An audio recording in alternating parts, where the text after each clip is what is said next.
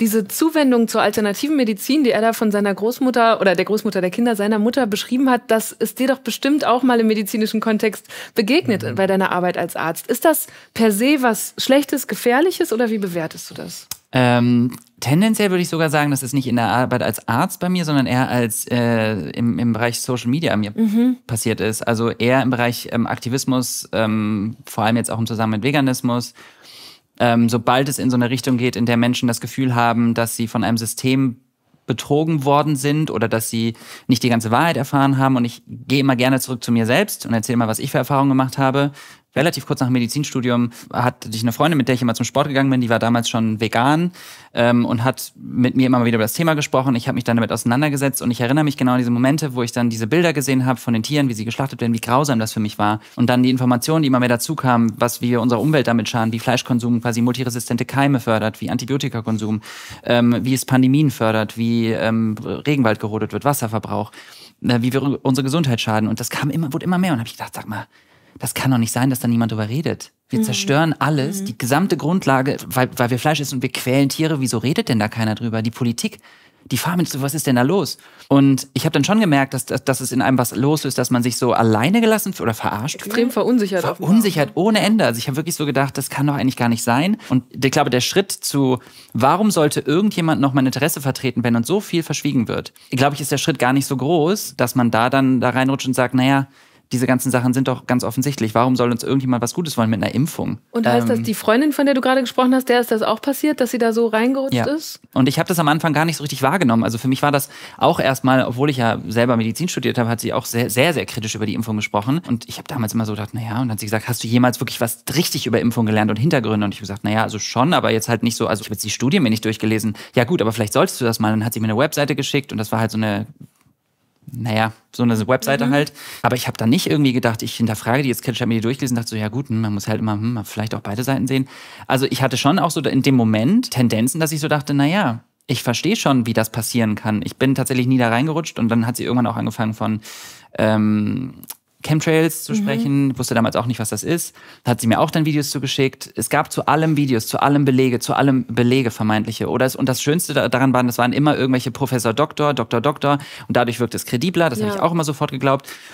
Und das äh, habe ich natürlich jetzt im Aktivismus besonders doll gemerkt. Also da sind ganz, ganz viele Menschen, die mir dann äh, zu der Zeit, als das angefangen hat mit Corona, da bin ich überrannt worden. Also mhm. Und wie bist du dann vorgegangen, um dich selber davon so abzugrenzen? Sehr unterschiedlich, würde ich sagen. Also ich hatte, ähm, es gab Phasen, die mich, in denen mich das enorm belastet hat. Gerade in der Akutphase, würde ich sagen, zu Beginn, wo, als wir alle noch nicht wussten, mhm. als es noch keine Impfung gab und ich wirklich auch PatientInnen intubiert habe, also wirklich vor Ort war und es massiver Stress für uns alle war. Wir hatten Maskenmangel, das weiß ich noch, es gab keine Masken, wir mussten unsere Masken teilweise eine Woche tragen, dann nochmal eine, eine OP-Maske drüber, Schutzklamotten auf, wir waren unterbesetzt, es war wirklich nervig und anstrengend. Und dann nach Hause zu gehen und sich sagen zu lassen, du wirst von der Pharmaindustrie bezahlt, mhm. das ist doch alles Verarschung, du bist doch bla bla bla, das ist schon, ähm, das macht was mit einem. Also ich war, äh, ich musste mich echt zusammenreißen und ich habe Diskussionen geführt. Ich habe mich auf, teilweise auf Diskussionen eingelassen. Äh, ich habe relativ schnell gemerkt, lass das bei der Person, hat es gar keinen Sinn mehr. Die habe ich dann auch blockiert oder gelöscht oder liegen lassen. Und ich habe aber auch äh, Diskussionen gehabt, äh, die gefruchtet sind tatsächlich. Die gingen zwar sehr lang, also bestimmt mehrere Stunden. Diesen Zeitaufwand kann man halt irgendwann auch nicht mehr aufbringen als Einzelperson. Aber ich habe dann für mich so ein bisschen Weg gefunden, was ich glaube ich eine ganz gute Herangehensweise bei den meisten Menschen ist. Nämlich wir alle haben äh, das Bedürfnis, verstanden zu werden und gehört und gesehen zu werden. Und wenn man sich vom System betrogen fühlt, den Menschen erstmal nicht das Gefühl zu geben, du bist dumm und du bist falsch und es stimmt nicht. Ich habe recht, du nicht, mhm. sondern erstmal ich, ich sehe das und ich höre das. Aber lass uns doch nochmal gucken, was hier eigentlich steht und worauf wir das basieren und was die, was die Datenlage sagt. So. Natürlich kommt dann immer Ping-Pong hin und her und dann kommt da wieder eine Studie und da kommt da wieder mhm. irgendwie ein Link. Aber ähm, das war so meine Herangehensweise. Aber es, hat, es ist schon sehr kräftezehrend für mich auch gewesen. Ja, ich gucke auch, ich schiel die ganze Zeit gerade auf dieses Foto, weil die ja, Vorstellung, ja, da, da warst du happy, aber dass du dann an diesem Ort so viel Zeit verbracht hast, äh, lange Schichten geschoben, in diesem, wie du gerade gesagt hast, dann in X Sicherheitsmonturen und so weiter, geschwitzt, auch selber erst aktiv gelernt über mhm. diese Krankheit. Und draußen ziehen die Leute aber genau über euch her oder leugnen, Drohungen was auch. ihr da, ah, okay. Also ich habe Drohungen bekommen von Leuten, die mir gesagt haben, sie klagen mich an, weil mir meine Approbation als Arzt entzogen werden sollte. Ich, ich würde ja Menschenleben gefährden, mhm. indem ich diese Impfung promote. Von vegan lebenden Menschen wurde mir gedroht, dass sie mir Corona oder den Tod wünschen, weil ich ja Tierversuche fördern würde mhm. mit der Impfung. Also es kam wirklich von allen Seiten zu der Zeit. Das war sehr, sehr anstrengend, aber ähm, irgendwie hat sich das dann so ein bisschen, also irgendwann hat sich das einfach ein bisschen gelegt, weil ich dann auch gemerkt habe, ich muss das Thema jetzt ein bisschen für mich auch beiseite legen. Ähm, ich habe dann irgendwann auch gesagt, ich bin kein Experte, was das Thema angeht. Ich würde mich aber freuen, wenn sich mehr Menschen auf die Expertise von tatsächlichen WissenschaftlerInnen konzentrieren. Aber das klappt auch leider immer nur manchmal. Hast du eine Erklärung dafür?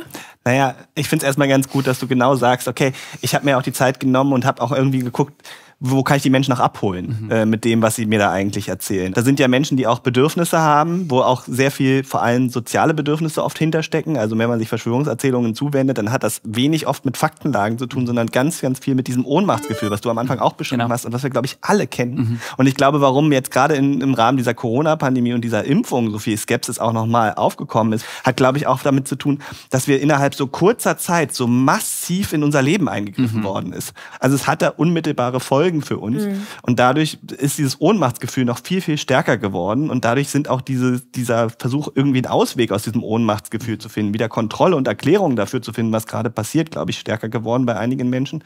Und deshalb diese, diese Verbreitung von Verschwörungstheorien dann. Mhm. Also für mich war Kontrollverlust so das Stichwort. Ne? Also das ist genau das, was Menschen nicht mögen. Das Gefühl, dass uns was weggenommen wird.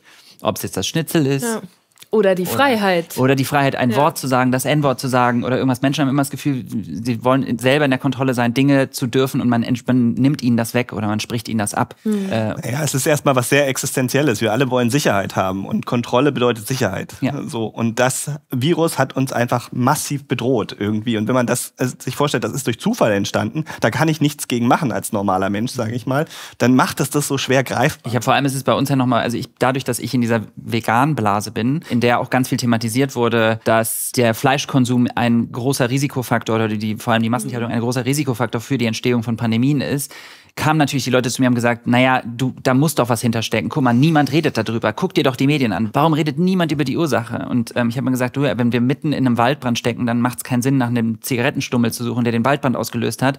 Also es macht schon Sinn, längerfristig darüber zu sprechen, bin ich auch der Meinung. Und Kritik an so einem System ist ja durchaus berechtigt. Ne? Absolut. Bin Wichtig. Ja, ne, mal hingestellt, aber das, wir müssen über bestimmte Dinge sprechen. Das war immer so ein bisschen der, Eng, der, der Winkel, den die Leute dann bei mir gewählt haben. Auch mir klarzumachen, dass ich das doch eigentlich selber gar nicht glauben kann, weil du weißt doch, wie das ist. Und aus dieser veganen Blase kommt ja auch einer, oder zumindest ist er damit assoziiert, der berühmtesten Verbreiter von Verschwörungstheorien in Deutschland, dieser ganz berühmte vegane Koch.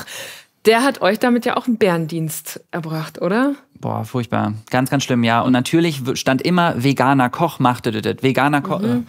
Das ist genau wie diese, wie, wie diese, diese Schlagzeilen. Vegane Eltern töten ihr Kind, weil sie es vegan ernähren. Dann hast, findest du raus, naja, die haben dir halt Gurke und Sojamilch gegeben und waren einfach schlechte Eltern. Mhm. Ähm, wir haben ja ein, ein, Video damals gemacht auf YouTube und da hat er auch geschrieben, äh, Daumen runter Blitzkrieg, Blitzkrieg äh, unseren Link reingeschickt und sagt, hier zwei Veganer Schwuchtel von der Pharma-Lobby, macht mal, macht mal was hier, so in seine Telegram-Gruppe und hat dann die, seine Armee auf uns gehetzt. Und das zeigt auch nochmal die andere Seite. Wir reden ja hier sehr viel darüber, warum sich Menschen Verschwörungserzählungen zuwenden.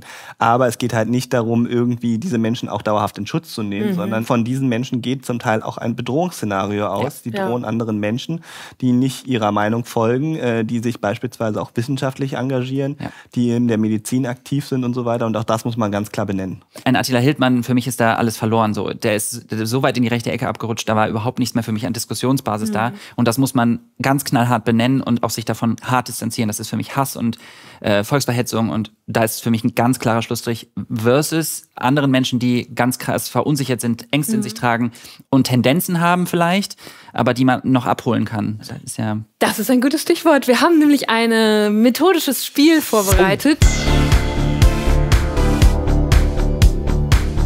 Dabei geht es genau darum, um den Perspektivwechsel, darum, diese Menschen, die du jetzt gerade zuletzt angesprochen hast, zu verstehen. Es geht um Reframing. Ja. Also wenn dir eine Sichtweise präsentiert wird, wo du sofort denkst, hä, das, das kann doch nur so und so sein, mal zu überlegen, wo, wo kommt denn die Person her, die mir das gerade gesagt hat. Simpelstes Beispiel ist, ist das Glas halb voll oder halb leer? Ne? Mhm. Und ich habe jetzt hier ein paar in dieser Kiste für dich, die wirst du gleich ziehen. Da stehen dann einzelne Sätze drauf, Perspektiven, wo du einmal eine andere Perspektive zu einnehmen sollst. Du sollst okay. sie also reframe. Das hier ist ein Beispiel. Meine Mutter schickt mir ständig gewinn absurde. Ich Wenn, hm? Gewinne ich dann irgendwas am Ende? Was kann man gewinnen? Anerkennung. Ja, und wieder, dass wir das Glas wieder voll machen für dich. Wasser hätte ich. Ja, gut. Das kannst du dir jetzt erspielen. Also das Beispiel hier wäre, meine Mutter schickt mir ständig absurde Links, wie gefährlich die Impfung ist. Das Reframing wäre oder die neue Perspektive, meine Mutter macht sich Sorgen um mich. Mhm. Also sie nervt nicht nur, sondern sie ähm, macht sich auch Sorgen. Und das wollen wir jetzt mit dir üben. Zieh doch mal. Okay, das, also, das ist klar. Seitdem mein Freund in diesem Telegram-Chat unterwegs ist, sendet er mir den ganzen Tag über Nachrichten. Okay, also offensichtlich ist sie, also ist sie genervt und macht Also ich gehe davon aus, äh, dass ich würde das jetzt sagen, äh, seitdem mein Freund auf Telegram unter. Ich mache mir Sorgen ich, also ich, ich, interpretiere Sorgen daraus einfach. Ist ja, das die Frage? Also ich höre Sorgen raus, dass, sie in, in, dass er in etwas abrutscht, was sie dann nicht mehr kontrollieren kann oder Genau, das eröffnet zum Beispiel eine neue Perspektive. Also in dem Fall wäre es vielleicht zu sagen, irgendwie mein Freund kontaktiert mich ständig, weil er sich Sorgen um mich oder, oder um mhm. sich macht. Das Gute an so einem Reframing ist, mhm. dass es eine neue Perspektive eröffnet. Wenn wir vorher mhm. zum Beispiel total genervt sind, weil uns Verschwörungsgläubige ständig missionarisch irgendwie äh, gegenüber kriegen wir auf einmal mit, okay, da gibt es Sorgen und und das macht ganz viel mit einem Menschen, wenn man so eine neue Perspektive entwickelt, weil man automatisch auch anders ins Gespräch geht. Ja. Das ist gar nicht so leicht. Nee, finde ich auch nicht. Ich dachte, ich dachte, das wäre, würde mir leichter fallen. Seit meine Mutter in Rente ist, redet sie unaufhörlich über ihre Verschwörungserzählungen. Hm. Klingt auch nach einer Person, die eigentlich genervt ist, aber genau, was könnte dahinter Genau, stecken? also die Mutter bedeutet ihr viel und sie macht sich Sorgen, dass äh, also die Mutter macht sich wahrscheinlich Sorgen und die Tochter macht sich auch Sorgen. Das ist ja immer so. Also die Mutter macht sich Sorgen, weil sie das Gefühl hat, sie ist da was, sie hat da was entdeckt und die Tochter ähm, hat das noch nicht verstanden und sie muss ihrer Tochter, die ihr viel bedeutet, was zeigen und die Tochter dachte, aber du bedeutest mir auch viel und ich möchte, dass wir uns erhalten bleiben und das, was du da machst, ist Quatsch. Du darfst das gerne reframe, aber das ist das, was ich daraus lese. Ja, das, das klingt erstmal, dass du ein sehr empathischer Mensch bist. Das ist ja immer total wichtig und auch total gut in der Auseinandersetzung mit Verschwörungsgläubigen. Gleichzeitig könnte man natürlich hier auch sagen, äh, meine Mutter hat jetzt ein neues Hobby gefunden, um es mal ein bisschen positiv. Mehr Zeit in der genau, hat mehr Zeit in so, ja. Hobby. Weil wenn ich das ein bisschen mehr im Fokus nehme, dann kann ich mir überlegen, okay, wie kann ich meine Mutter eigentlich unterstützen, sich vielleicht auch wirklich nochmal ein anderes Hobby zu suchen, außer Verschwörungstheorien jetzt. Denn auch das hat die Forschung erwiesen. Langeweile ist durchaus ein Zuwendungsmotiv ah, okay. zu Verschwörungstheorien. Macht Sinn. Ja, finde ich besser, was du gesagt hast, das nehme ich. Aber dann verzichte ich auch auf mein Wasser jetzt. Du kriegst noch mal Wasser. Kriegst trotzdem Wasser. Einer ist noch drin. Lass Ach, noch einer? Probier. Ja, komm, lass den noch mal probieren. Ich weiß einfach nicht mehr, wie ich mit meiner Schwester reden kann. Okay, da grenzt Ich hatte ein sehr gutes Verhältnis zu meiner Schwester. Wir konnten immer uns super gut austauschen und aktuell habe ich das Gefühl, dass wir eine Barriere zwischen uns haben. Mhm. Ja, langsam, langsam wird's. Wir kommen rein. Wir kommen rein. Ja. Man kommt rein. Es ist eine Übungssache, ähm, so, aber es ist ganz wichtig, irgendwie auch, Wasser. auch mal neue, neue Perspektiven äh, zu eröffnen. Und du hast ja dein Wasser verdient. Ich hätte jetzt gedacht, dass mir das leichter fällt, muss ich ehrlich sagen. Als ich das erste Beispiel dachte, ja, mhm. das kann ich. Weil ich habe ja wirklich auch viel aus. Ich habe mich super viel mit Menschen ausgetauscht, die in diesen Verschwörungserzählungen drin waren. Und sowieso ein Großteil meiner Arbeit aus Kommunikation besteht, weil ganz ehrlich, unangenehme Themen zu kommunizieren, das ist ja. schwierig. Mhm. Es ist ein bisschen anstrengend, aber wenn man dann in dieses Training reinkommt, dann hilft es einem, glaube ich, in ganz vielen verschiedenen Situationen im ja. Alltag.